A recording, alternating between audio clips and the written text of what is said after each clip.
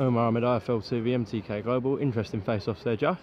Yeah, very interesting. Big, um, what was that acrylic, acrylic, clear acrylic screen in front of our face. Go on, go on. Danny, you want a pair? You told me the other day you hated Yemen. Oh, this this one, the middle one with Johnny, yeah. Ready?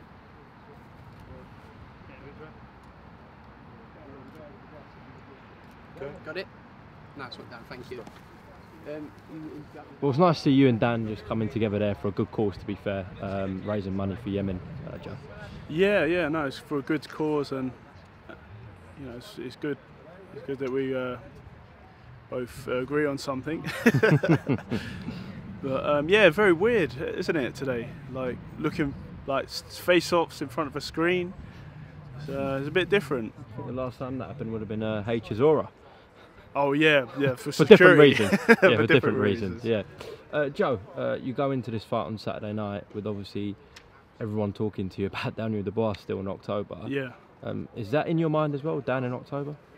Well, it's, it's still quite a long way away, and I've got Wallisch, who's a very game opponent, opponent that's going to be see throwing throwing lever at me. So I'm going to have to be switched on and you know get the win and come out comfortably, and then I can then look for uh, you know look forward to getting in the ring with Dynamite Dubois.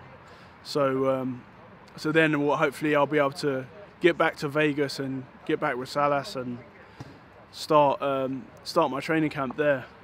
Okay, so that's good. That's clear because obviously um, you're back with your old trainer now, um, and there's no sort of split with Salas. It's only because of the travel reasons and, Yeah. and sort of uh, the restrictions. And also, um, Steve Broughton has uh, worked with Salas before, and he, he's familiar with his kind of style and what he wants. And you know, we've been communicating over WhatsApp and FaceTime, whatever. So, um, like Salas is still he's still still around, and he's still uh, part of what's going on with my training. So, um, yeah, I just have to uh, just have to get the win on Saturday night, and then. Uh, and then go on to to to get with, on with training and stuff. So it's, uh, it's but it's going to be a good fight, man. I'm looking forward to it. I haven't been in the ring in over a year, so uh, bring it on. Why do you believe it'll be a good fight? What do you know about Michael? Well, I've seen his um, I've seen his previous fights with uh, Yo Kerr and um, Igjagba, Efe Ajagba, yeah. Efe Ajagba, yeah. So they were. Um, so I saw what he's got, and he's like no joke. Like it's uh, you know I have to be switched on, and you know I haven't had like the because it's been funny in lockdown. I haven't had to been able to have like a you know like a, one of my usual camps.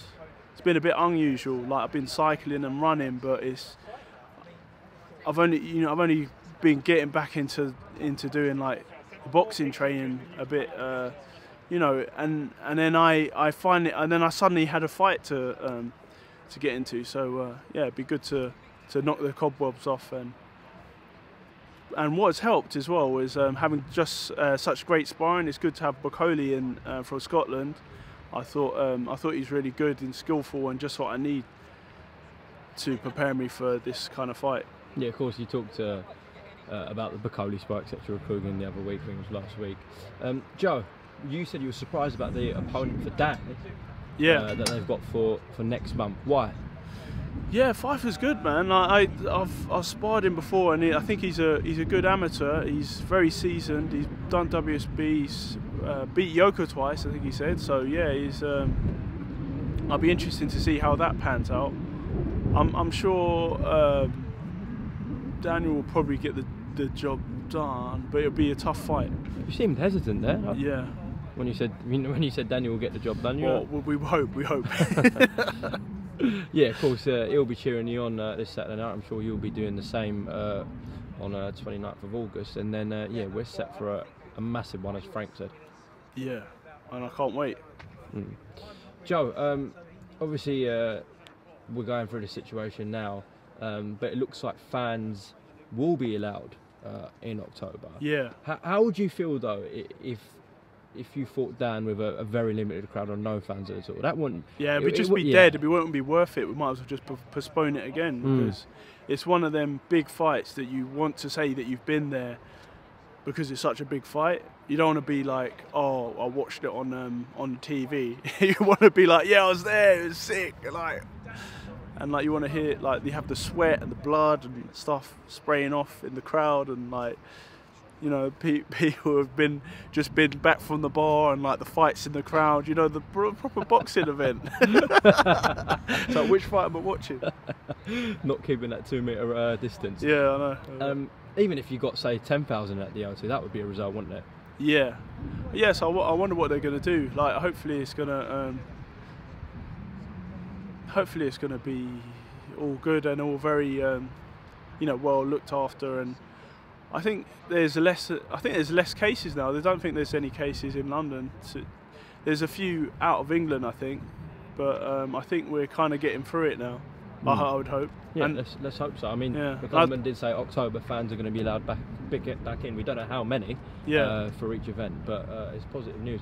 Joe, um, as mentioned there, uh, you're the underdog against Dan, even though with your, your spectacular amateur record and in the professional ranks, you fought much better opposition than Daniel. yeah Um, you've got a, a lot of strengths, obviously, but a weakness that people point out is that you, you do take shots. yeah Um, and that's why people probably think, well, if Dan catches you, you're going to go. Do you, do, you, do, you, do you feel like there, there's a realistic chance that in the first three rounds he's going to be at his most dangerous and, and there could be a point where you have to get up off the canvas, Joe?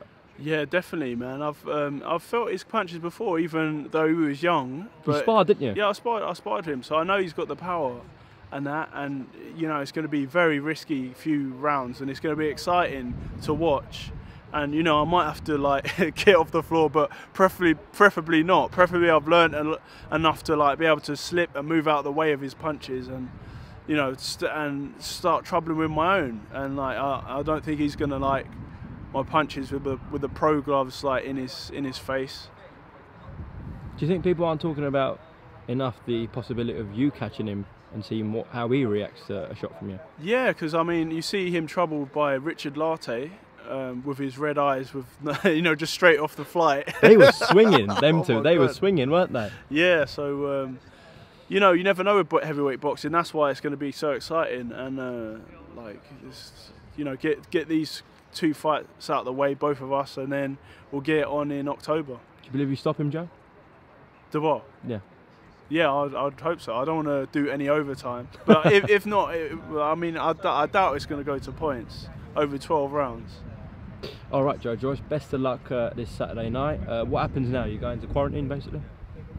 Yeah, I will have to go into the hotel on Wednesday, and then um, yeah, it'll be locked down until the fight, and we'll be getting tested and stuff like that along the way. So, um, you know that we're both clean and we can we can fight. Well, hopefully you both come back negative. We get the fight on. Dubois does the, the business next month, and then yeah, we get uh, hopefully some fans at the O2, and uh, we're living in a perfect world. Then, Joe. Definitely. All right, Joe Joyce. Thank you very right, much nice for coming to IFL TV.